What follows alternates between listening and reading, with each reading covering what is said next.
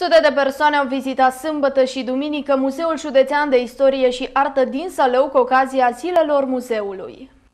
La fel ca și anii trecuți, zilele muzeului au reușit să atragă înspre muzeu sute de vizitatori. Dacă pentru cei mici, reprezentanții muzeului au pregătit o serie de concursuri inedite, cum ar fi un concurs de tras cu arcul, un atelier de modelaj în lut sau unul de cultură generală, cei mari, adică însoțitorii copiilor, s-au putut înscrie la un concurs de tras cu arcul pe familii sau la unul de cultură generală din istoria locală.